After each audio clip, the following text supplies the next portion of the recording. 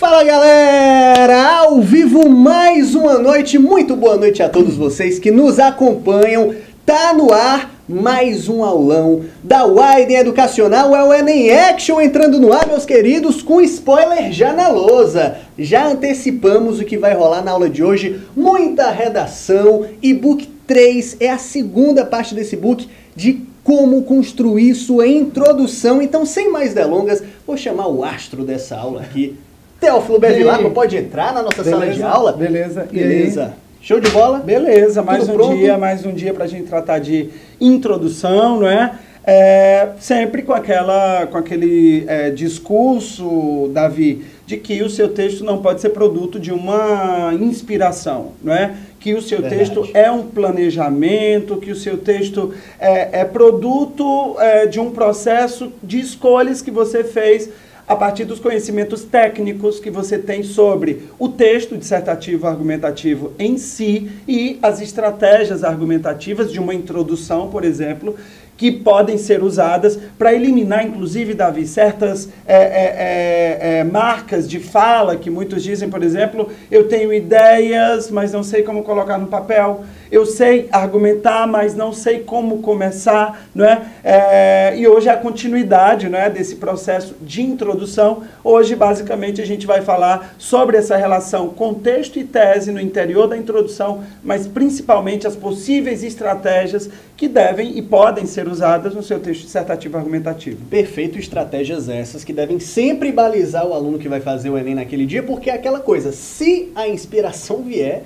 aí é ótimo, né, professor? Muito bom, mas não podemos contar 100% com isso. Sim, né? mas é, eu não me refiro à inspiração no sentido da, da, se inspiração foi entendida, vejam vocês, como uma reflexão do tema, como escolhas a respeito do tema, quer dizer, essa possibilidade de lembrar de fatos, se inspiração... É, bagagem cultural, por exemplo, ah, lembrei de um Sim, livro que tem a ver é, com o tema. Isso é racionalidade, isso é um trabalho cognitivo, Faz mental. parte das estratégias. Com certeza, mas eu me refiro muito mais àquela ideia romântica, você deve lembrar do romantismo lá do século XIX, quando ficava meio que subentendido um, um, um, uma, uma visão é, é, de inspiração enquanto algo que é, vem inesperadamente. Uma coisa transcendental. É, que é, vem e aí eu passo a escrever. Não, eu estou me referindo a se inspiração, você considera inspiração um processo de relações é, é, é, de conhe dos seus conhecimentos, com a sua é, criticidade potencializada, é, é, a serviço da sua construção de texto, se inspiração for isso, tudo bem. Se inspiração for pegar a caneta e morder a caneta e ficar olhando para cima, esperando. Aí já perdeu meia hora de prova, né? Já, já, já chupando acabou, né? a caneta, metendo no nariz. Quer dizer, isso não, não vai dar um bom texto. Isso vai dar um texto fragmentado e a nossa certeza. ideia é de que o seu texto tenha tenha é, racionalidade, que ele seja produto de uma lógica que foi escolhida por você a partir de tudo que você sabe e com certeza sabe muito. Perfeito, meus queridos. Então a introdução para esta aula já foi feita, viu, meus queridos? Você pode, vocês podem perguntar o que vocês quiserem para a gente até ah, mais sim. ou menos 9, 9 e 15, né, professor? A gente sim, vai estar aqui ao vivo. Então não se acanhem, perguntem mesmo tanto pelo eneaction.com.br, plataforma que está transmitindo a gente ao vivo, como também pelo YouTube, o Aiden Educacional, ou nossas contas nas redes sociais. Nós temos um Facebook, mas eu peço que você interaja com a gente pelo nosso Instagram, que é o arroba. A gente publica stories por lá, então vai no nosso direct e manda a tua pergunta sobre introdução que a gente responde no ar. Falo sobre introdução porque sempre a galera é bem interativa nas aulas do Teófilo, mas às vezes perguntam sobre temas gerais de redação. Então, assim, o centro do nosso tema é a introdução. É, é, mais coerente que as perguntas se Sim. dirijam a ele. Mas Sim. se houver outras perguntas, gente. É. A gente é... sabe que às vezes surge uma dúvida Sim, né, na hora, então do pode texto. mandar, né? Sim. Mas o foco, introdução, nós temos aqui um curso que vai, que está no ano inteiro, né, rolando, então não se acanhem e já já tem mais novidade. Teófilo, boa aula. Valeu, Vou lá para trás responder a galera. Beleza, beleza. Mande sua pergunta. Então, muito boa noite a vocês todos e todas, certo? É, vamos começar aqui a se desenrolar, a se desencadear é, do processo de introdução é, do texto dissertativo argumentativo. Vem cá, você que está me assistindo agora, entenda a lógica do porquê de existir a introdução. Vejam só, introdução, desenvolvimento e intervenção social. A introdução vai possibilitar o desencadear do seu texto. Erra, como nós já sabemos, quem quer fazer grandes explicações na introdução. É um erro. Quem quer fazer grandes argumentações na introdução. A introdução não é local para que você faça grandes explicações. De maneira alguma, o nome já está dizendo. Eu vou apenas introduzir, primeiro, o conteúdo do seu texto, ou seja, você vai apresentar o tema e, por ser o texto argumentativo, dentro desse espaço, nós vamos ter o quê? Vamos ter uma tese é, e nós devemos necessariamente, sempre que falamos sobre introdução, retomar isso. Você pode até dizer, ah, mas só fala em tese. É óbvio que eu tenho que falar em tese se o objetivo do texto dissertativo argumentativo é provar uma tese. Então, inevitavelmente, nós temos que lidar com a ideia de tese, não é? Mas não nos custa nunca lembrarmos que o objetivo da introdução é relacionar um contexto a uma tese. É claro também que fundamentalmente o mais importante da introdução é a tese, porque é a tese que vai possibilitar que haja desenvolvimento. Afinal de contas, o que você vai desenvolver será a tese através de argumentos. Ah, mas então eu posso ter uma introdução só de duas linhas? Teoricamente, pode. Aliás, não há uma, uma, uma regra do número de linhas que haja ou que deva haver é, como regra imposta pela prova do Enem. Não é? Conselho meu, conselho de quem já é velho. A introdução é importante espaço para que você demonstre conhecimento de mundo já de cara. Você demonstre um conhecimento de mundo através de um contexto. A competência 2 da redação do Enem trata de três aspectos muito básicos: uso de conhecimentos de outra área, se o seu texto vai ter uma organização, introdução, desenvolvimento e é, intervenção social.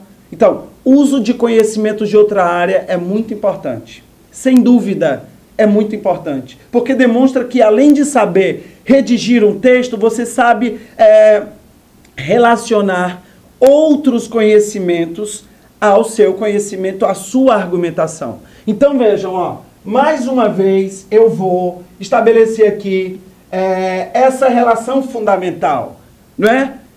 Essa relação fundamental, qual seja a relação entre um contexto, um contexto mais a tese. Nós, para falarmos de introdução, temos que falar nisso aqui, não é? Temos que falar. Veja, é, o que você vai é, apresentar no contexto da sua introdução, isso varia muito, não é? Isso varia muito. É, o contexto, quando nós começamos, ele pode, ele tem de um modo geral uma cara meio informativa, não é? Porque ele é mais expositivo do que explicitamente argumentativo. Não é? é? o contexto pode se dar através de várias estratégias e nós vamos ver algumas hoje aqui através de exemplos. Mas o contexto é, ele pode se dar através de quê? Referência histórica, como nós já sabemos, dados estatísticos, citação, pode se dar através de um fato é, de conhecimento público, por exemplo, que tenha passado no no jornal, no jornal de amplitude nacional, pode ser através de uma definição também, criar uma definição de uma palavra central do tema, não é? é então, dados, referência histórica, exemplificação, é, citação, etc. Tudo isso entra nesse escopo de apresentação de, do seu tema. É óbvio que essa escolha que você faz para apresentar o tema e para ir fazendo com que o leitor vá percebendo sobre, que, sobre o que trata é, o seu texto tem que ser uma escolha legal. Não, é? não pode ser uma escolha qualquer, não pode ser uma escolha, esse conhecimento de mundo inicial, desvinculada da tese e do tema. Não é? é Lembre-se que você está sendo avaliado por outras competências também. Não é? é? Mas no primeiro momento aqui, nós estamos falando sobretudo da função da introdução. E, obviamente, gente, é, vocês têm que pensar na tese. tem que pensar na tese, não é? A gente vai tratar hoje das estratégias argumentativas e eu já queria ir direto para os nossos exemplos textuais. Eu quero lembrar vocês, eu quero lembrar vocês que a tese, tese, vou repetir milhões de vezes, tese, tese, tese, tese, 50 milhões. Sabe por quê? Porque é ela o farol do seu desenvolvimento. Uma tese é uma declaração polêmica, uma tese é uma declaração argumentativa forte. Procure escrever uma tese sobre o tema que polemize, que discuta, que possibilite que haja argumentos. Eu tenho dito a vocês que eu defendo que por uma questão de organização, a sua tese já contenha o que, gente? Pelo menos aí uns dois pontos. Então, nesse sentido, vamos falar um pouco da tese?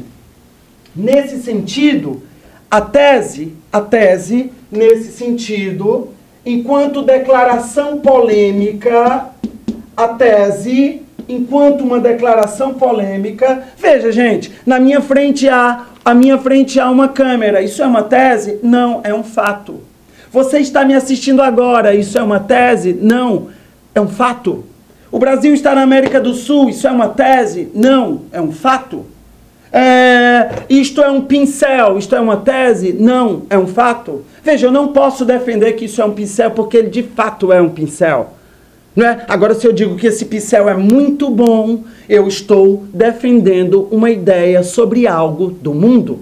Só que eu dizer que esse pincel é muito bom por si só não tem força argumentativa, precisa de argumentos para defendê-lo, defendê-la essa tese, e aí eu vou precisar do desenvolvimento para apresentar argumentos que defendam isso. A, a tese é basicamente isso. O que, que eu defendo? Que a sua tese já contenha pelo menos. É, vamos pensar o seguinte, ó. O que é, qual, qual seria a fórmula, se assim podemos dizer, da tese? A tese seria uma afirmação uma afirmação polêmica seguida de dois pontos. Uma afirmação polêmica seguida de dois pontos. Atenção! Qual é a natureza da tese? Uma afirmação polêmica seguida de dois pontos. Então, por exemplo, ó, atenção. Torcidas organizadas, afirmação. Torcidas organizadas infelizmente, são um problema para o Brasil. Sobretudo porque promovem baderna na sociedade e porque acabam desencadeando o desinteresse pelo esporte. Entenderam? Qual é a afirmação declarativa problemática? Torcidas organizadas, por exemplo, eu não estou aqui defendendo que estou só exemplificando um discurso social torcidas organizadas são um problema para o Brasil. Sobretudo, por quê? Porque é, promovem baderna na sociedade, primeiro aspecto, e porque acabam levando pessoas a não gostarem mais do futebol ou algo dessa natureza. Você entendeu? Há muitas possibilidades de argumentação, mas você escolheu esses dois caminhos. E é com eles que você, é por eles que você vai se responsabilizar e no desenvolvimento de maneira organizada, um parágrafo para a questão da baderna, outro parágrafo para a questão do afastamento de muitos torcedores devido à baderna das torcidas organizadas. Entendeu? Mas a lógica seria essa: uma afirmação problematizadora e dois pontos, por exemplo. Um ponto que evidenciasse uma causa. Um ponto que evidenciasse outra causa, ou uma causa em um ponto e no outro uma consequência, ou uma consequência no primeiro ponto e uma consequência no segundo, ou um ponto positivo em um e um ponto negativo em outro. Quer dizer, ao declarar isso, finalizando a minha introdução, eu já preparo o leitor mais ou menos para o caminho que o meu desenvolvimento vai tomar. Entendeu? É mais ou menos por aí. Hoje a gente vai é, analisar algumas introduções para que a gente perceba que tipo de relação houve aí entre o contexto e a tese.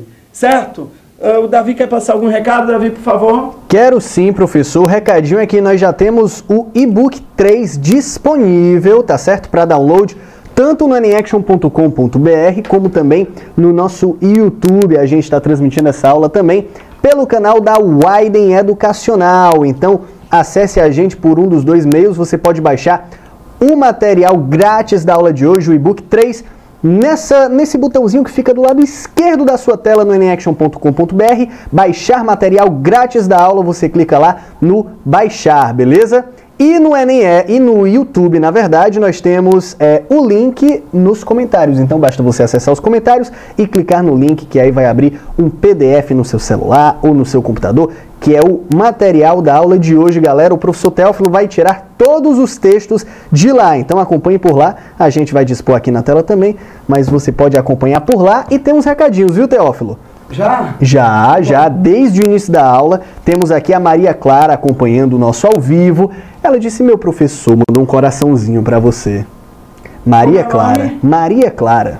Ah. Belíssimo nome, gosto desse nome. Maria Clara. Maria Clara. Bonito nome. Gosto bastante. E temos também a Tamires Cristo. Ela está assistindo a gente e fez um agradecimento a você. Teófilo, queria agradecer pelos materiais de redação anteriores. Maravilhosos. Obrigado, Tamires. É isso aí, galerinha. Acompanhe a gente pelas redes sociais também, arroba Action, porque vai ter coisa por lá, hein? Bora! Vamos ver texto?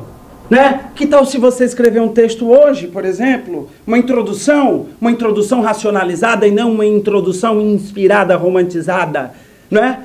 Olha, eu queria pedir ao meu amigo Davi que ele vá ir na, nessa, nesse texto, Davi, lá dos últimos, o progresso roda, uma citação, começa com o progresso roda, é o penúltimo, né? Meus amigos, minhas amigas que estão me assistindo agora, Vamos olhar aqui. Já apareceu aqui, Davi. Ó, vocês viram que, bom, é, o Davi fica pedindo para eu sair do meio. É mas lógico. Tá aqui, mas tá aqui uma introdução. Vamos analisar essa introdução? E se essa introdução fosse sua? Vamos primeiro fazer uma leitura dela para ver a medida entre contexto e tese, para ver se a tese, ou seja, é, o que, que a autora promete em relação ao desenvolvimento. Vejamos, gente. Citação, citação. Vou apagar aqui. Eu vou apagar aqui porque depois eu vou falar disso. Citação, gente, é um dos mais usados recursos da uh, como estratégia de iniciar o texto. Não há nenhum problema, não há nenhum problema em, por exemplo, você começar o seu texto já com aspas. Não há nenhum problema com isso. Não é? Às vezes se criam mitos aí que andam circulando em redes sociais com regras inexistentes, com fatos inexistentes. Não, que legal! Você começa o seu texto com aspas, é possível. Não é? Você declara, você coloca no seu texto inicialmente já o discurso do outro. Não é? Citar nada mais é, no caso, que introduzir uma autoridade em determinado assunto para respaldar aquilo que você pretende. Não é? Você usa tanto na introdução quanto no desenvolvimento. Vamos ver como esta introdução usou e jogou e dinamizou o fluxo textual através de uma citação. Vejamos, vocês que estão me acompanhando agora, o texto começa o seguinte: O progresso roda constantemente sobre duas engrenagens. Faz andar uma coisa esmagando sempre alguém. Isso está entre aspas, vejam. Eu vou repetir. O progresso roda constantemente sobre duas engrenagens. Faz andar uma coisa esmagando sempre alguém. Fechou aspas, vejam fechou aspas, não é? E começou um novo período. Veja, o primeiro período foi todo constituído de uma citação, não é? Agora é preciso se dar lógica, que se dê lógica a essa citação. E assim continuou é, a autora. A frase do escritor e pensador francês Victor Hugo exprime a ideia de que o sistema capitalista funciona baseando-se na exploração constante dos indivíduos. Veja, gente, vamos entender a lógica desse raciocínio. No primeiro período foi feita aí uma citação. Ela poderia não ter feito essa divisão, é, é, é, na verdade, nos dois primeiros períodos, né? Contém aí a citação. É, não, não, poderia, não precisaria iniciar o texto com a citação com aspas, iniciar já com aspas. Eu achei maravilhoso. Né? Ela poderia simplesmente ter começado com aquelas outras formas de começar, uh, de introduzir o outro no texto. Por exemplo, segundo Vitor Hugo, para Vitor Hugo, vírgula, não é? De acordo com Vitor Hugo, vírgula, e aí vem as aspas e a citação, não é? é de acordo com o pensamento de Vitor Hugo, vírgula, abre aspas, não são dois pontos, vírgula, abre aspas e faz a citação, depois fecha aspas. Ela poderia ter feito isso também. Mas em termos de texto, o que é que ela fez? Nos dois primeiros períodos, a citação. No terceiro período, veja o desencadear, gente. Ela esclarece de quem é o texto e, ao mesmo tempo, faz uma espécie de tradução, o que é muito bom. Ela exprime para o corretor que entendeu a frase do nosso poeta francês, o Victor Hugo. Então, basicamente, o caminhar dessa introdução tem o seguinte: tem uma frase aí do Victor Hugo, crítica, e ela faz uma tradução é, dessa frase, esclarecendo algo mais é, para o leitor. Então não há até aí nenhuma dificuldade. Eu quero que vocês vejam a clareza do texto, não é? é o texto muito simples. Veja, você que está me assistindo agora poderia muito bem ter feito igual ou fazer igual, não é? Mas eu quero sobretudo que você pense na estratégia. Eu estou falando de estratégia, gente. A nossa defesa aqui do Enem Action é que você escreva de maneira técnica, criticamente técnica. Então vejam, ó, citou no, no segundo momento, no terceiro período, é, fez uma espécie de tradução, um comentário, não é? é mas aí é que tá, o tema dessa redação foi publicidade infantil em questão no Brasil. Veja, se nós pararmos para pensar, quando eu paro para pensar eu não tenho diretamente na citação uma menção à publicidade, muito menos à, à infância, não é? é então, é, o trabalho da autora de dar lógica à citação e o comentário é, dentro do tema proposto é, deve ter uma atenção bastante grande para que essa citação não fique isolada por exemplo, a citação que eu escolho fazer, ela tem que ter uma vinculação direta com o que eu pretendo e com o tema. Vamos ver o que, que a autora fez. Vejamos como é que ela enquadra é, a declaração que foi feita com esse desencadear do texto. Vejamos. Ela diz, no quarto período, Analisando esse conceito, veja que ela usa esse conceito como um elo de ligação, ou seja, é um elo de coesão, é competência 4 na transição de um período para outro, não é? Ou durante um período, é sempre importante que haja palavras que remetam a elementos do período anterior, seja pronomes, seja advérbios, seja é, é, frases nominais é, ou expressões nominais, como esse conceito, que retoma o conceito exposto no período anterior, para abrir caminho para aparecer é, uma nova informação. Ela escreve: analisando esse conceito atrelado à conjuntura atual, vejam, ela vai meio que filtrando a questão, ela sai desse conceito de capitalismo e exploração e ela vai dizendo, é, tomando esse conceito para o contexto atual, quando ela coloca a palavra atual, ela joga é, é, esse contexto, o Vitor Hugo é do século XIX, mas ela traz esse pensamento do século XIX e, e, e ambienta dentro do nosso tempo, que é importante, e diz nota-se que a publicidade direcionada às crianças, veja, ela apresenta o tema, ela diz: esse conceito atualmente pode é, é, ser utilizado para pensar a publicidade infantil, publicidade direcionada às crianças no Brasil, possui um caráter predatório, funcionando como meio de criação de futuros consumistas e explorando a relativa facilidade de se persuadir uma criança através do uso de elementos do universo infantil. Você percebeu? Nós podemos dividir então em dois grandes momentos essa introdução.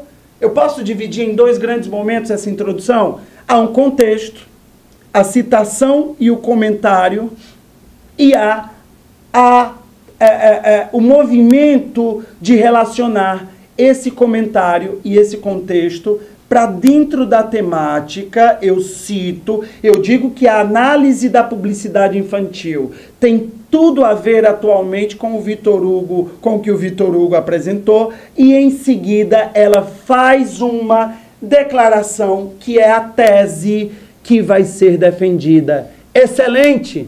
A introdução, vejam só, gente, não se trata, não se trata de saber começar se trata de saber escolher, não é? Você tem que saber as técnicas, no caso, por exemplo, a citação é uma delas. Eu vou escolher a citação. Lá no pré-texto você estabeleceu que a sua introdução vai começar com a citação, vai passar para um comentário, depois vai ser apresentado o tema explicitamente e você vai colocar uma tese. Por exemplo, é, a tese da autora. Ou seja, ela está se comprometendo depois de ter feito o contexto com que ideia argumentativa para ser provada no desenvolvimento. Ela diz o seguinte: analisando esse contexto atrelado à conjuntura atual, nota-se que a publicidade direcionada à criança do Brasil possui um caráter predatório. É afirmação. Atenção, gente. A publicidade, segundo a autora, possui possui um caráter um caráter predatório. Possui um caráter predatório. Atenção, vocês lembram que eu acabei de dizer que a tese, de um modo geral, é uma afirmação mais os dois pontos? A afirmação é a ideia que você vai querer defender no seu texto como um todo. Mas para que essa ideia, dizer que a publicidade tem um caráter predatório, ela se estabeleça como algo argumentativo, é preciso que se apresentem os argumentos. E na própria tese, como eu disse, você já pode colocar os dois tópicos de argumentos que vão ser desenvolvidos no desenvolvimento. Uma causa, uma causa, uma causa, uma consequência, uma consequência, uma consequência, um fato, um aspecto positivo e um aspecto negativo. Nesse caso aqui, a autora diz o seguinte: funcionando esse caráter como meio de criação de futuros. Atenção, gente ela faz referência a consumismo. Consumistas. Consumistas. E explorando a relativa facilidade de persuadir uma criança através do uso de elementos do universo infantil. Então ela fala que, além de consumismo, a publicidade infantil é predatória não só porque gera consumistas, mas porque é, é, se aproveita da vulnerabilidade, eu vou colocar com essa palavra, vulnerabilidade infantil. Vulnerabilidade infantil. Atenção, você que está me assistindo agora. A autora foi perfeita do ponto de vista técnico. Perfeita. Perfeita feita do ponto de vista técnico. Ela está se comprometendo e está dizendo ao, ao corretor: olha, eu vou defender que possui um caráter predatório. No primeiro parágrafo eu vou dizer, vou explicar de que maneira essa ideologia predatória assume um caráter importante na vida das crianças que podem levá-la, é, levá-las as crianças a se tornarem consumistas, por exemplo, como afirma, e isso ocorre porque há uma vulnerabilidade na psicologia da criança que acaba encarando a publicidade não com uma visão crítica. Eu estou me comprometendo com essa ideia e você vai me dizer agora, sabe o quê? Mas eu tinha outras ideias. Gente, se trata de uma questão de escolha. Bom, tudo bem, no seu processo de pretexto você tem outras ideias, mas é, não seriam essas duas as melhores? Quantos parágrafos vai ter o seu desenvolvimento? De um modo geral, o número de pontos que você estabelece em relação à declaração, à afirmação, é aquilo que vai se transformar em desenvolvimento. Não é? Escolha pontos que você vá sustentar no desenvolvimento. Às vezes a tese é muito bonita, é muito complexa, mas na hora do pega para capar do desenvolvimento, ela é muito complexa. Não é? E para teses complexas, às vezes há um grau de muita dificuldade de explicação dela. E aí o aluno acaba sendo o que no desenvolvimento? Muito, é, muito simplório. Não é? Porque ele mesmo armou uma armadilha para ele. Não é? Então, ó, Eis aqui um exemplo, eis um exemplo de introdução maravilhosa, não é? é? Eu posso, por exemplo, fazer a fotografia dessa introdução através de quê? Período 1, um, citação. Período 2, o resto da citação. Não é? Período 2, o resto da citação. Período 3, o comentário. E o período 4, em que aparece a tese e os dois aparecem a tese e os dois pontos. Entendeu como tem toda uma lógica, como não é por acaso, como não é produto de, de qualquer outra coisa que não seja é, a lógica interna do parágrafo. Eu quero ainda falar é, que há duas formas de citação, não é? Há duas formas de citação. Eu posso ter a citação, vejam só, eu posso ter a citação, citação, eu posso ter a citação direta e eu posso ter a citação indireta. Citação direta e citação indireta. O que é a citação direta? É quando há exposição da fala do outro, de um trecho de um livro. O que é citar, gente? Eu posso citar a letra de música? Pode, se não for palhaçada. Não é? Às vezes o, é, é, vocês sabem que tem casos famosos né? de miojos e, e, feijoadas, não é? Quer dizer, de citações absolutamente sem coerência. Tem hino de clube de futebol, né, professor, no meu, tem um bocado é, de coisa. Tem né? hino, não sei o que. Não há problema. Não é? O problema é se ela vier carregada de um tom de brincadeira. Pode ter hino de futebol? Pode. Pode ter letra de música, qualquer que seja? Pode, contanto que ela faça parte do contexto e participe do processo de construção. Então, quando eu falo em citação, estou falando em quê? Citação de livro, citação de música, citação de frase de alguém. Agora, repare se a frase que você vai citar é mesmo da pessoa. Não é? O Immanuel Kant é, é, é, um filósofo, é um sociólogo, é, ele virou tudo. É, já houve até a redação que eu vi esse poeta, não é? esse escritor, teve um que chamou discípulo de Jesus, o Immanuel Kant. Não é? Quer dizer, eu tenho que ver se a frase é mesmo do autor. A Clarice Lispector, não é? pode ser da literatura. Gente, é, quando eu trago uma informação de outro campo, por que, que a gente diz de outros conhecimentos? Porque o conhecimento imediato que é avaliado é de língua portuguesa.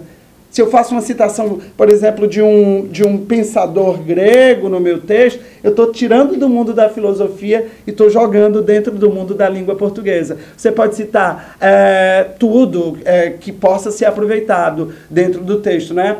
Há uma outra forma, é quando você diz o que alguém disse. Se você não tiver certeza a respeito de uma dada citação, é, diga a essência do que foi dito com suas palavras. Segundo Paulo Freire, por exemplo, aí, a educação passa pelo processo de desenvolvimento interacional, social dos estudantes para um autoconhecimento sobre. Eu estou dizendo alguma frase do Paulo Freire, mas com as minhas palavras. Eu mantenho a integralidade da ideia, não preciso colocar aspas na citação indireta e fica tudo certo, não é?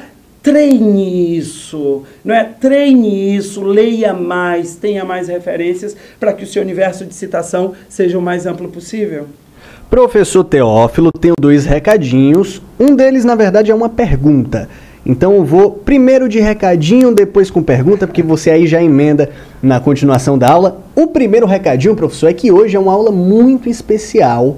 Não só porque nós estamos vendo a segunda parte do e-book 3, estudando sobre introdução, mas também porque hoje é a data da divulgação do sorteio do Dia do Estudante. Uhum.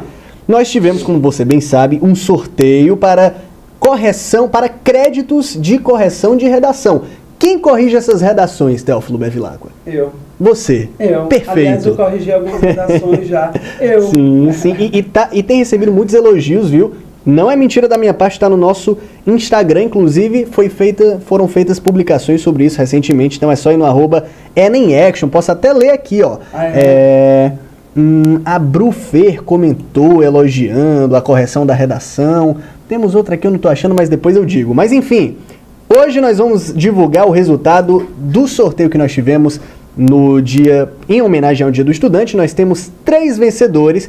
E esses três vencedores, cada um vai ganhar um crédito para correção de redação, ou seja, cada um vai ter um texto corrigido por este que vos fala aí na frente da câmera, Teófilo Bevilacqua, hein? Escrevo, viu? Que honra! Eu escrevo, faço quase, quase um outro um livro sobre a redação. Ah, mas é bom demais. Com e, certeza. E é por isso que o pessoal gosta. Participou. Sim, com certeza. E é por isso que o pessoal gosta, porque realmente as correções são bem descritivas, são bem detalhadas, e aí a pessoa tem um retorno bem preciso do que escreveu, né, dos erros, dos acertos também, enfim, é uma correção bem completa e muito elogiada. Professor, já já a gente vai ter é, essa revelação dos três vencedores. Uma a gente isso uma, uma coisa... grande é uma coisa, indício, é uma coisa transcendental. Tá Quando envolve sorteio de créditos para correção de redação, a coisa muda aqui na Action. Já já a gente vai ter essa divulgação, mas antes uma pergunta da Maria Clara que falou com a gente agora há pouco. Na verdade, ela tem várias perguntas, vou escolher uma. Deixa eu ler a outra que ela mandou agora.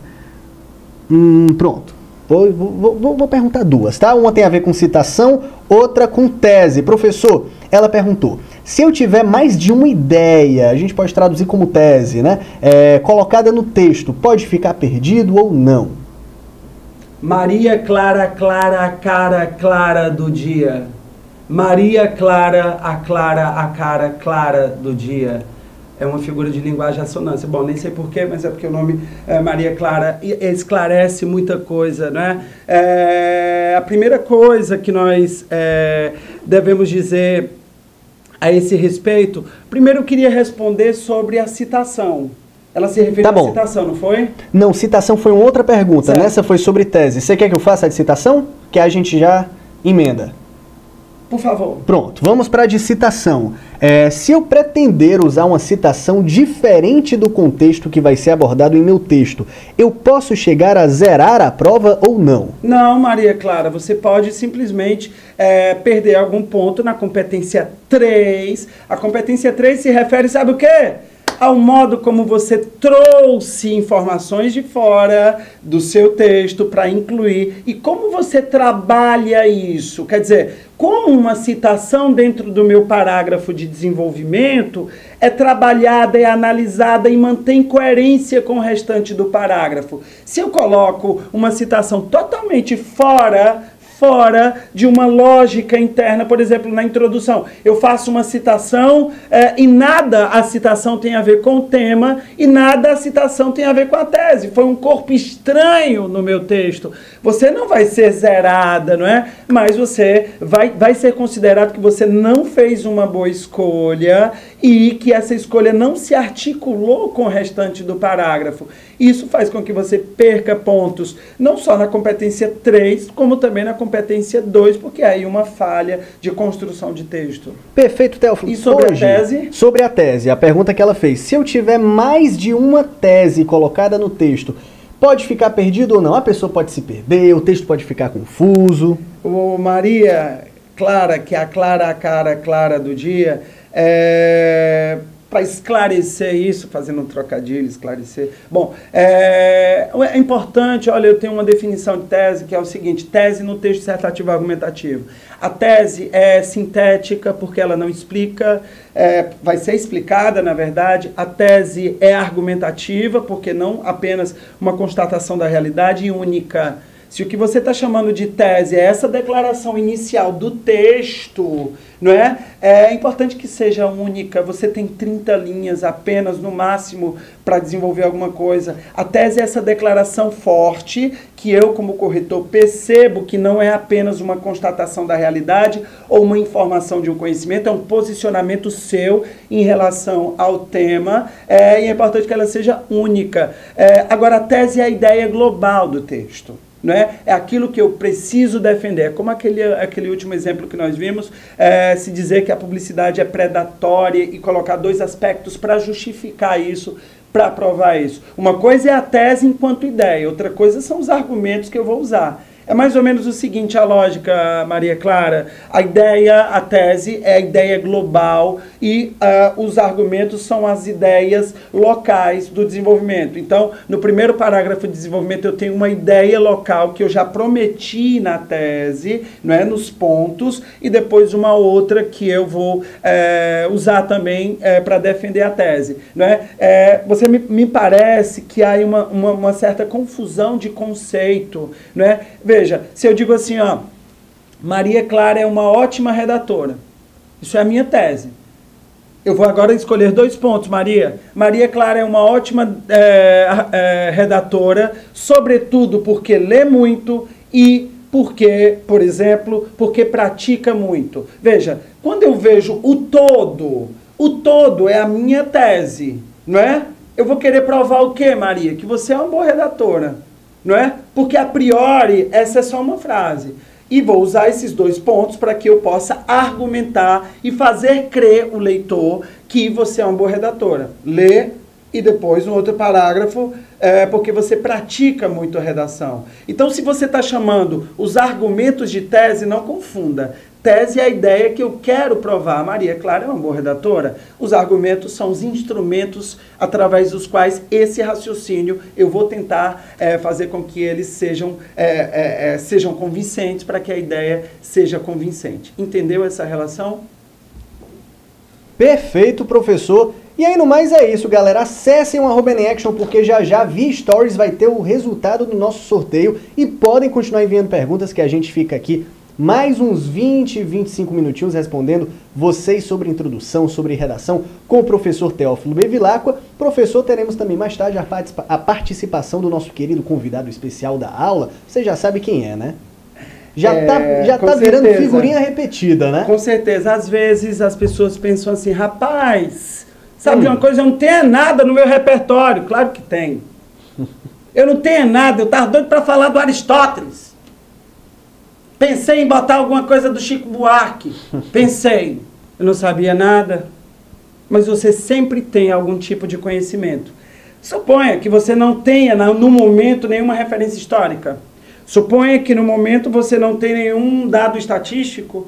Suponha que naquele momento você não tem, por exemplo, nenhuma exemplificação ou nenhuma definição de nada. Né? Mas será que você não está ligado ao cotidiano? Ocorreu algum fato social, principalmente neste ano, que você possa utilizar como estratégia para começar o seu texto? Para começar o seu texto, por exemplo, um, um, uma, um acontecimento na política do nosso tempo, um acontecimento catastrófico no meio ambiente, por exemplo, ou uh, um ato de agressão contra os indígenas brasileiros que se notabilizou pela imprensa. Eu queria mostrar para vocês agora que um, um, uma das estratégias argumentativas que nós podemos usar é, e eu quero dizer o seguinte, quando eu digo ó, a estratégia introdução, é, a estratégia citação, não necessariamente você precise. Se você quiser, por exemplo, usar citação e dados estatísticos no contexto, Pode ser uma citação de uma frase e reforçar isso com dados estatísticos? Pode. Agora, você tem que ter o bom senso de saber controlar esse tamanho, de relacionar esse contexto com essa tese, essa articulação, essa ligação contexto e tese, por quê? Porque é, você não vai fazer uma, uma introdução de 15 linhas, por exemplo. É muito, não é? Eu não digo quantas linhas, mas 15 é, é um número realmente é, muito grande. Eu queria pedir agora, e vai aparecer aqui para vocês, o segundo exemplo. O segundo exemplo começa com atualmente. Já está aqui? Eita, gente! Um exemplo de alguém que tirou nota mil. Atenção! O que eu vou dizer agora é para a eternidade. Muitos, eu não sei porquê, muitos adoram dizer que não se pode começar o texto com a palavra atualmente. Alguns argumentam de uma maneira quase pueril que a palavra atualmente é uma palavra óbvia, que seria um pleonasmo, não é? É o Enem, na cartilha do Enem, em nenhum momento se refere à, à inexistência da palavra atualmente, ou, pior ainda, a impossibilidade de usar atualmente. Atenção, gente! Eu vou mostrar agora uma introdução que tirou nota mil. e cuja, cuja, prime, cuja primeira palavra é o quê? Atualmente. Então, quando vocês ouvirem alguém dizer que não é para começar o texto com a palavra atualmente, mostrem este texto. Não é porque você usou a palavra atualmente que você não vai tirar nota mil, não é? Os corretores do Enem têm muito mais outras preocupações de competência do que usar ou não a palavra atualmente. Vejamos esse exemplo, que a, a contação de um fato da atualidade. Quer dizer, o contexto vai ser um fato da atualidade, você vai demonstrar conhecimento de mundo, porque conhecimento de mundo não é só citação ou dado, você vai demonstrar e vai transitar esse fato para o tema e vai apresentar a tese. Vejamos, gente.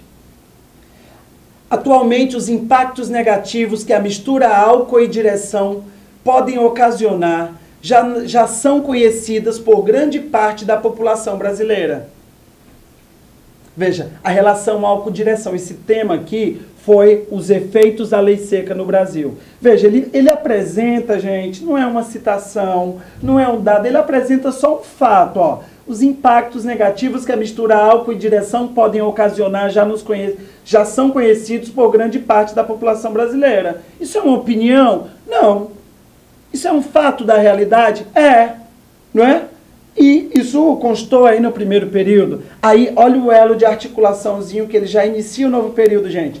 Tal fato constitui-se fruto do alcance efetivo de projetos educativos e campanhas publicitárias então, ele diz já aqui que é, essa relação, os impactos que essa mistura promove, não é? o problema dele é, nós já conhecemos. Não é? E esse fato, é, ele, ele, ele constitui-se fruto do alcance efetivo de projetos educativos e campanhas publicitárias. E continua, nesse sentido, a promulgação da lei no caso a lei seca, não é? De restrição ao consumo de bebidas alcoólicas por condutores de veículos foi uma vitória. Atenção que ele começa a querer dar opinião. Foi uma vitória tanto para o Estado quanto à sociedade civil. Seu, seu resultado já pode ser observado através de dados estatísticos fornecidos por órgãos competentes. Tais informações demonstram que houve a diminuição do índice de acidentes dessa natureza. No entanto, ainda há casos desse tipo de negligência ao volante. Faz-se necessário não só a complementação da lei existente, mas também a existência de ações afirmativas, as quais auxiliarão no processo de modificação completa deste aspecto cultural. Eu quero chamar atenção para um detalhe, gente. Primeiro, ele falou que há algo positivo, que houve a lei seca, que to, primeiro que todos sabemos que há um problema da relação álcool-direção. Ele cita também que medidas que foram tomadas serviram para quê? Serviram, esse é o raciocínio dele, ó, serviram para melhora do quadro de, de, de, problemas que houve é, durante é, um período em que a lei seca não havia. Em seguida, em seguida, e diz que isso é uma vitória, etc. Em seguida, ele usa no entanto. Lá no final, ele usa um no entanto. Não é? Vejam só, ele diz: ainda há casos desse tipo de negligência ao volante. Apesar de todas as mudanças, faz-se necessário não só a complementação da lei existente, é um primeiro ponto ele defende que a lei deve, deva ser complementada e ele tem que explicar por quê no primeiro parágrafo de desenvolvimento. Mas também, olha o segundo ponto, a existência de ações afirmativas as quais auxiliarão no processo de modificação. É o segundo ponto. Você deve estar aí muito com a pulga atrás da orelha. Mas isso já não é uma intervenção social? Não estaria aí um erro, um erro de abordagem, não é? Ele está dizendo, veja só, o que deveria ocorrer. Ele estabeleceu dois pontos. A maneira como isso vai ser trabalhado no desenvolvimento exige de você uma atenção. Uma coisa é eu explicar o porquê disso. Quando eu explico o porquê de cada ponto deste aqui que termina, eu vou apresentar um desenvolvimento. Eu vou explicar, eu vou justificar, eu vou problematizar, eu vou discutir o porquê daquilo. Então é mais ou menos o seguinte, ó. A pergunta que se faz, ele diz: é necessário uma complementação da lei existente. Por quê? Prove num parágrafo por que é necessário. E depois o porquê do outro. Né? É, a pergunta é por quê. Aí é de ordem é, da pergunta. Se ele pergunta como, ou seja, se ele coloca o como no desenvolvimento, como isso deve ocorrer, quem vai fazer, por que fazer, etc., o modo como isso vai ser feito, aí sim ele estaria não fazendo um desenvolvimento, mas sim uma intervenção social. Você entendeu que se trata apenas de uma questão de pergunta? Porque de fato tem cara de intervenção social. Tem cara. Esses dois pontos têm cara de intervenção social. É? Mas quando ele estabelece esses dois pontos, o direcionamento que esses dois pontos vão tomar na dinâmica do desenvolvimento são o seguinte: eu vou perguntar por quê. E quando eu te pergunto por quê, por quê, é, deve haver uma complementação da lei, eu vou explicar por que, que deve haver, etc, etc. Entenderam?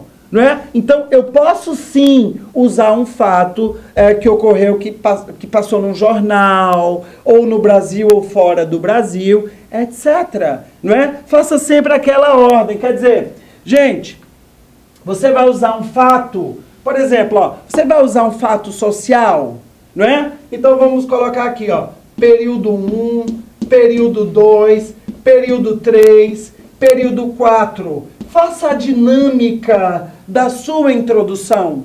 Faça a dinâmica, não é? Então eu vou colocar um fato, um fato, eu vou colocar F, é, fato da realidade. Pode ser um fato que foi noticiado. Você pode abrir o seu texto da seguinte maneira: No primeiro semestre de 2019, tornou-se público o fato tarará, tarará, tarará. Se apresenta o fato, não é? Um fato é, obviamente, você não vai demorar cinco linhas, às vezes duas linhas no máximo, não é? Você traz esse fato como um exemplo. Você, por exemplo, diz que ele é um dos exemplos e aí apresenta o quê? o, a situação problema do tema. A situação problema no segundo período. Por exemplo, gente, eu vou dar um exemplo de um tema que já passou. Não é? Imagine que você comece o seu texto da seguinte maneira: Maria Roberta é, Fontinelli de Aguiar Silva foi assassinada no dia 28 de janeiro de 2019 na cidade de Goiânia o que foi noticiado por todo o país e o que causou enorme revolta no país, devi, é, é é, enorme revolta pelas circunstâncias do crime que, foram, que foi investigado e se descobriu que o assassino foi seu marido. Ponto. Eu apresentei um fato, eu não demonstrei nenhuma opinião no segundo período. Esse fato, aí eu vou uh, incluir o tema agora. Olha a lógica da coisa.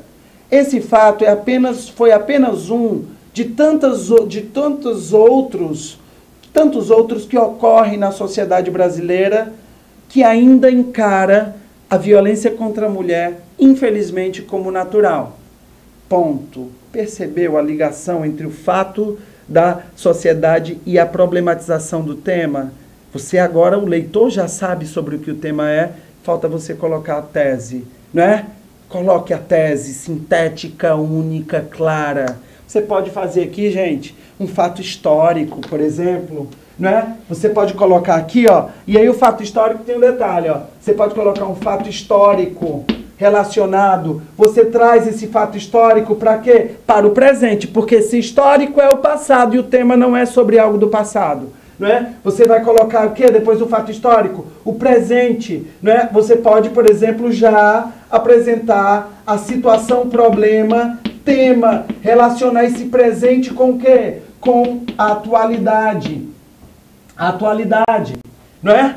Você pode trazer, é, apresentar isso como um problema, uma situação problemática da sociedade, dizer que isso da história, do passado, ainda está presente hoje, eu estou só generalizando, apresenta-se isso como um problema, e aqui eu posso ter a tese só afirmação, e por exemplo, no último período eu posso colocar os dois pontos da minha tese. Quer dizer, a tese mais ou menos começaria aqui e aqui haveria os dois pontos que vão ser desenvolvidos. Não é? Ou seja, escreva a sua introdução com clareza. Clareza, sobretudo, para você. Não improvise, estabeleça como vai ser a ordem do seu texto, certo? Por falar, por falar em elemento histórico, por falar em elemento é, histórico, eu queria que nós víssemos uma das mais, sem dúvida, uma das mais utilizadas estratégias para começar o texto, é? que é uma referência histórica. Referência histórica pode ser de muitas partes da história, do Brasil colonial, do Brasil imperial, da Primeira República, dos nossos tempos, da Grécia, etc, etc, etc não é? é? Contanto que tem uma lógica, contanto que você esteja ciente que vai ter que transitar desse passado para o presente. E essa transição, de um modo geral, se dá através de advérbios, como você termina o fato histórico e coloca atualmente, etc. Não é? é vamos ver esse exemplo aqui é, de referência histórica, certo? É, que começa com a ascensão de Juscelino Kubitschek. Vamos ver, gente. Vamos ver como se deu. É, basicamente, é, qual foi a estratégia que foi usada para relacionar o contexto à tese? Vejamos. Com a ascensão de Juscelino Kubitschek ao poder, a política de abertura da economia brasileira entrou em ação mais vigorosamente do que em qualquer outro episódio da história do Brasil. Vejam, eu tenho aí no primeiro período uma declaração é, é, com um conhecimento básico de ensino médio não é? Aí você poderia dizer, não, é um fato, isso é um fato. Não, desculpa, isso é uma opinião. Não, é um fato. É um fato numérico. Não é? Ninguém pode contestar é, é, esse fato histórico quando ela diz é, em, é, em ação mais vigorosamente em que qualquer outro episódio da história do Brasil. Ponto. Veja só, vou começar um outro período agora. Vamos ver o que ocorreu na estratégia dela. Nesse cenário, a entrada de automóveis no Brasil como produtos de consumo foi cada vez maior. Veja, ela acrescenta uma informação. Ela fala no primeiro período sobre uma abertura econômica. No segundo período, ela diz que um aspecto, um aspecto desse desenvolvimento econômico é a questão dos carros. É, vem um terceiro, ela ainda está na história, vejam, é, ela falou de economia, ela ainda está na história. No terceiro período, ela abre com uma conjunção, com uma locução adversativa. No entanto, o governo não tomou, o governo não tomou como prioridade a fiscalização das estradas do país e uma prática nociva tornou-se comum. E ela explica com dois pontos beber e dirigir. Vocês estão entendendo a clareza da coisa? Ela diz que o governo Kubitschek, ela diz que o governo Kubitschek melhorou a economia. No segundo período, ela diz que um dos fatores dessa melhora se vincula ao desenvolvimento de automóveis no Brasil. E ela contradita esse positivo com uma informação quando nos diz no entanto, o governo não tomou como prioridade, veja, ela diz que não tomou como prioridade a fiscalização. Ela não diz que não houve fiscalização, porque se dissesse isso estaria incoerente com a realidade. Não é? Ela diz que isso não foi uma prioridade, a fiscalização desse avanço de automóveis no Brasil, sobretudo, e segundo ela, porque é, essa relação entre beber e dirigir se difundiu. Aí eu perguntaria a você, se acabasse aqui a introdução dela, estaria boa? É, eu diria que não, estaria incompleta. Por quê? O que, que ela vai defender? É, é, já uma opinião dizer que o governo é, não tomou conta da fiscalização ou que não foi prioridade? Seria uma tese, mas muito aberta, muito difusa, muito fluida, muito possível, pouco específica. A sua tese tem que ser específica, clara, polêmica agressivamente crítica, agressiva no bom sentido. Agressiva no sentido de alguém que está escrevendo com personalidade e que vai defender aquele posicionamento. Recentemente, o governo, continua ela, implantou a lei seca. Veja, o tema, até que enfim, estava faltando o tema. O tema aqui é os, os desafios da lei seca Recentemente o governo implantou a lei seca, veja só, apresentou o tema, visando diminuir os efeitos dessa prática. Que prática? No período anterior à relação entre beber e dirigir. Nesse contexto, cabe analisar os aspectos positivos da aplicação dessa lei e como ela pode ser melhorada. Vejam só, eu quero dizer para vocês que quem escreveu este texto tirou nota mil tirou nota mil, obteve nota mil. A introdução dela é perfeita do ponto de vista da construção. O que, que eu diria, gente? É, um texto dissertativo argumentativo exige uma, uma tese, não é? Não fica exatamente explícita a tese dela. Não fica exatamente explícita, não é? Ela vai discutir isso no. Porque eu fico me perguntando o seguinte, ó que, que ela vai defender no desenvolvimento? Ela vai defender essa última expressão. Cabe analisar os aspectos positivos da aplicação da lei. Veja, analisar os aspectos positivos me parece muito genérico, não é? Muito que aspectos? Quer dizer, é, é, eu defendo, embora respeite aqui o texto, e ele é um ótimo exemplo para que nós percebamos as coisas, que a sua tese seja mais específica e menos genérica. Que seja uma declaração mais específica e argumentativa. Ela diz ainda, é preciso analisar os aspectos positivos da aplicação da lei como ela pode ser melhorada. Não é? Como ela pode ser melhorada. Veja, como ela pode ser melhorada já dá meio que um aspecto de intervenção, eu vou dizer o que pode ocorrer não é? Embora nós tenhamos, tivéssemos que ver o restante do texto para ver a argumentação, afinal tirou nota mil, é, eu não, eu não é, sugiro que seja feita uma introdução assim. Porque, de um modo geral, eu vou aqui para o meio agora, de um modo geral, quando há uma tese muito é, obscura, não é? Ah, o desenvolvimento não vai ser tão claro também. Quando não há uma tese, por exemplo, quando a introdução só tem contexto, é, é muito comum que o desenvolvimento venha só com informação. Não é? Quer dizer, a tese é aquilo que provoca o desencadear do, do, da argumentação. A tese possibilita que eu me comprometa com a ideia e no desenvolvimento, nas nossas aulas posteriores, no desenvolvimento, sobre o que nós vamos tratar, é, ela vai ser provada. Em síntese, gente, terminando esse momento de introdução, há outras possibilidades, há outras é, estratégias, sim. Uma referência histórica, por exemplo, que acabamos de ver, uma referência cultural da literatura. Como eu sempre digo, teve uma, a, a, alguém tirou nota mil citando a Peppa Pig, aquela personagem enquadrou dentro da lógica da é, publicidade infantil, como, quando foi o tema. Não é? Tenham criatividade também. Calculem o que, é que vai ter no primeiro período, eu vou relacionar com o segundo, vou trazer para o tema e aqui vai ser minha tese. Eu sugiro que vocês façam uma tese pontuada. Teses abertas só com aquela declaração, elas de um modo geral desencadeiam uma argumentação meio solta, não é? O que é a tese? É uma declaração e dois pontos não é? Dois pontos, e aí o modo como isso vai ser organizado dentro da sua introdução é muito pessoal.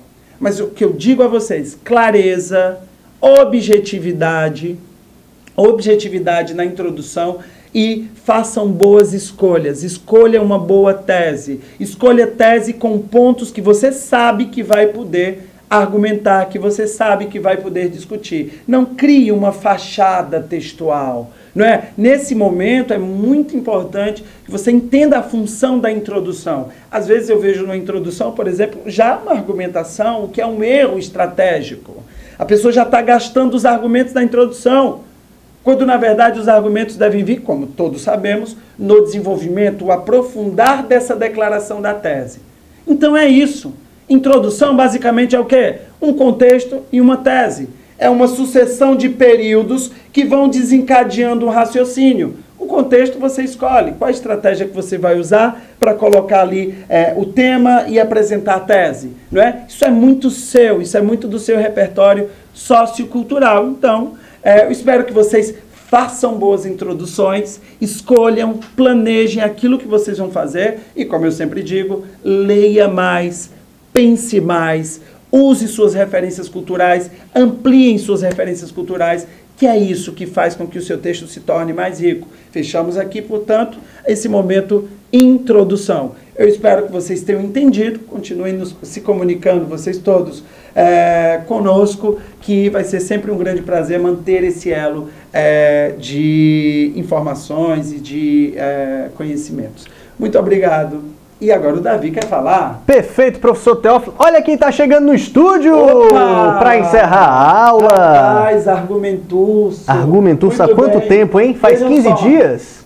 15 dias. Olha aí. O Argumentusso tem esse nome porque, vejam só, aliás, Érico Veríssimo, maravilhoso, gaúcho, Caminhos Cruzados, indico que vocês leiam, né? Boa. O Argumentusso tem tudo a ver com livro, gente. Livro, livro, livro, livro, livro, né?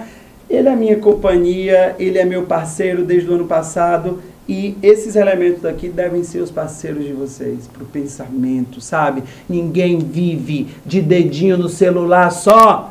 A vida não é uma vida, a vida não pode passar, a vida não pode ter 10 centímetros. Saia dessa caverna de Platão que está mostrando realidades falsas. Eu estou só dando uma tese.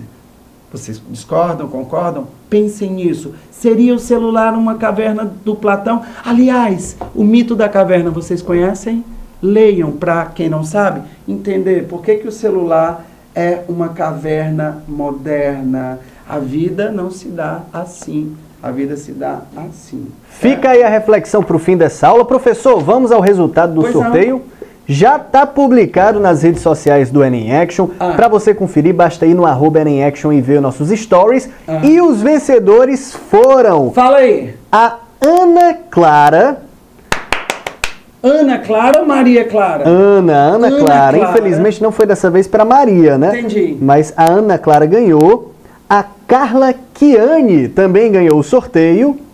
E o Lucas Vilela, são os três sortudos da vez. Parabéns para Carla, parabéns para o Lucas. Eles vão mandar redações. Sim, vão mandar redações. Eles têm agora como direito um crédito para correção de redação. Então, você vai corrigir essas três atenção, redações. Atenção nessa escrita, E enviar para eles. Sim, é verdade. Muito é uma bem. boa oportunidade aí de ter um retorno de como você está, como está seu texto aí na redação pelo professor Teófilo Bevilacqua. Professor, próxima segunda-feira nós teremos aula ao vivo aqui no Ani Action, aula de física, professor Ih, Diego massa. Leitão. Hoje Demais. tivemos a parte 2 do e-book 3, né? Introdução. Próxima segunda nós teremos a parte 2 de circuitos elétricos. Olha aí. Então você não pode perder aulão ao vivo do professor Diego Leitão.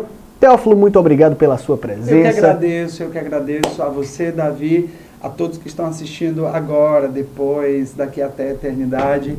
Um beijo para todos. Continuem lendo, pensando, praticando, desenvolvendo a argumentação, que vocês são muito capazes de tirar nota suficiente para entrar no sonho de vocês que é a universidade. Um beijo para todos vocês. Tchau, galerinha. Até segunda. Tchau.